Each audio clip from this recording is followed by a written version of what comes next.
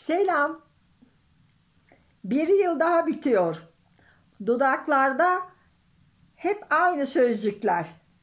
Gelecek yıl daha iyi olacak. Evet, gelecek yıl daha iyi olacak. Ama nasıl? Umutları yitirmediğiniz sürece. Düşünüp bugünü ziyan etmediğiniz sürece. Evet, yarını düşünerek bugünü es geçmediğiniz sürece. Hayallerinizin peşinden koştuğunuz sürece. Yaşlılığınızda ölümü beklemediğiniz sürece. Ölüm nasıl olsa var. Öyle değil mi? Evet. Gamlı baykuş gibi düşünmeyeceğiz.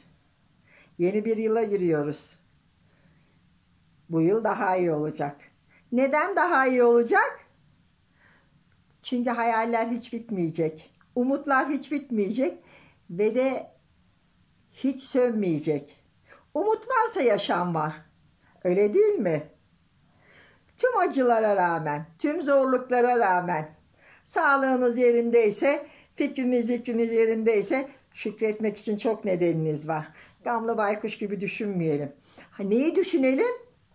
Daha iyi nasıl oluruz?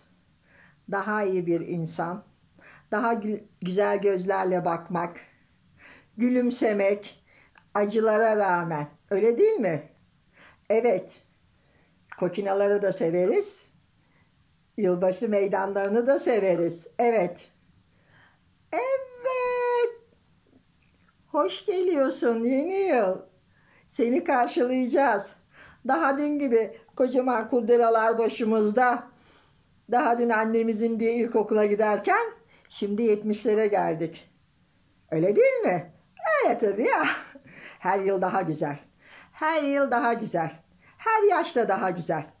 Sevgiyle kalın, huzurla kalın, mutlulukla kalın. Yarın güzelliklerle yeni yılımızı kutlayacağız. Ay dilini de eşek arısı soksun. Heyecanlanıyorum ne yapayım ya. Sizi seviyorum.